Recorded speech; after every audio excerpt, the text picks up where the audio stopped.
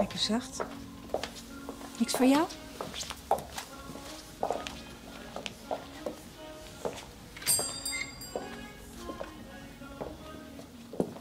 Het is er met je.